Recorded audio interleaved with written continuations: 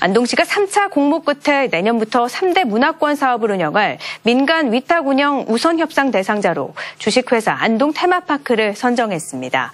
안동 테마파크는 LG그룹에서 분리된 LS그룹의 계열사 LS 일렉트릭과 이원, 에이스 종합관리 등 4개 회사가 설립한 특수 목적 법인입니다.